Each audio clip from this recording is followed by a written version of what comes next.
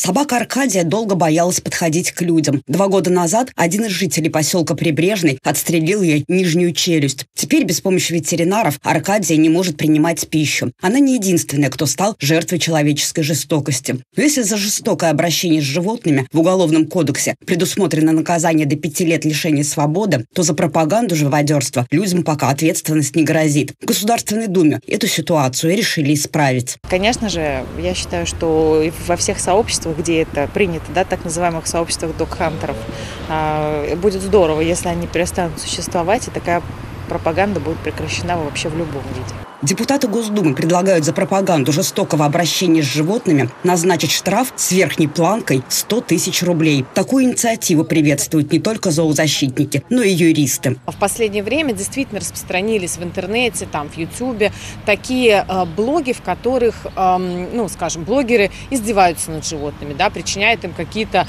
ну, там, насильственные повреждения. И действительно подобные действия необходимо пресекать, поэтому, в принципе, данную инициативу можно приветствовать. Она предусматривает введение административного штрафа в размере 100 тысяч рублей именно за пропаганду такого обращения. В Самаре действует программа ОСВВ – отлов, стерилизация, вакцинация, выпуск. Но даже чип, который закрепляется на животном, не всегда гарантия безопасности для собаки. Есть такой у нас бывший ЗИМ завод, и там стая бродящих собак. Она не контролируется.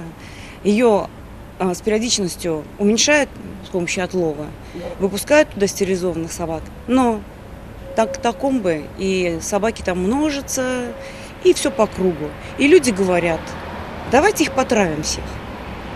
И это люди, которые живут со мной в одном доме. Кроме того, в Госдуме планируют рассмотреть регулирование коммерческого разведения животных. Проект уже согласован с Минприроды. Предлагается установить требования к регистрации, условиям содержания, порядку разведения и к условиям продажи. Это достаточно была громкая история, когда несколько лет назад, если я правильно помню, в Тольятти вот один из заводчиков э, в квартире, очень маленькой, чуть ли не однокомнатной, по-моему, содержал около ста а, собак а, вот, миниатюрной породы. То есть они, видимо, начинали как а, заводчики какой-то определенной породы, что-то вроде баллонок или пуделей, и там всем миром всем самарским регионам и даже, по-моему, соседними регионами вот этих 100 собак расселяли. Они, конечно, были грязные, голодные. Также в Госдуму хотят ввести запрет на операции, которые калечат животных. Например, такие, как удаление когтя у кошки вместе с фалангой пальца или подрезание голосовых связок у собак. Кроме того, предлагается наделить зоозащитников более высоким статусом. В частности, сократить срок рассмотрения их обращений с 30 до 10 дней со стороны правоохранительных органов и надзорных ведомств. Светлана Тимофеева, Григорий Плешаков. События.